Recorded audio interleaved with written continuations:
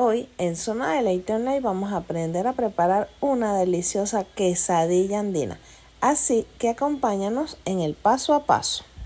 Vamos a tener nuestro volcán de harina. Agregamos la sal, la levadura instantánea, incorporamos la leche en polvo y seguido nuestra azúcar refinada. Con la ayuda de nuestros deditos vamos a tomar nuestros polvos y los vamos a integrar uniformemente vamos a incorporar nuestro huevo batido, a continuación la leche condensada y agregamos nuestra agua a temperatura ambiente. A continuación incorporamos nuestro aceite vegetal y vamos a cambiar la densidad de nuestros líquidos integrando lo que es la parte interior de nuestro volcán junto con los líquidos. Una vez hemos cambiado la textura, podemos romper nuestro volcán y empezamos a mezclar el resto de nuestros ingredientes secos.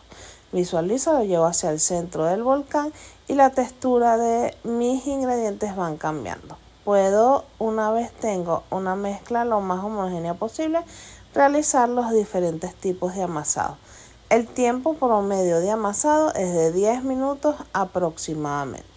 Una vez desarrollada la red de gluten, que se vea nuestra masa lo más lisa posible, vamos a dejar reposar una hora aproximadamente. Ella duplica su tamaño.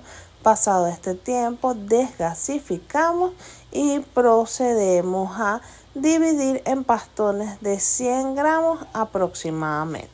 Esta división la vamos a hacer con la ayuda de un cuchillo, un taroco, algo bien afilado con un corte limpio en guillotina. Una vez tenemos cortados nuestros pastones, vamos a proceder a bolear con la ayuda de la yema de nuestros dedos y lo vamos a dejar reposar en mesa un promedio de 30 minutos aproximadamente. Una vez pasado este tiempo de reposo, vamos a proceder a desgasificar nuestra masa y con la ayuda del rodillo la vamos a estirar. Es importante no estirar en exceso porque si queda muy fina no va a tener miga para desarrollar. En promedio tiene un ancho de 10 centímetros aproximadamente. Llevamos a una bandeja previamente engrasada y vamos a dejar reposar una hora. Mientras en un envase vamos a tener queso rallado, azúcar refinada, nuestra leche condensada y vamos a abrir un huevo completo. Con la ayuda de una cucharilla vamos a integrar todos nuestros ingredientes hasta obtener una mezcla homogénea. Dejamos reposar mientras que termina la fermentación de nuestra masa y al culminar la fermentación vamos a abrir una pequeña cavidad justo en el centro de nuestras masas en la cual vamos a colocar nuestro relleno.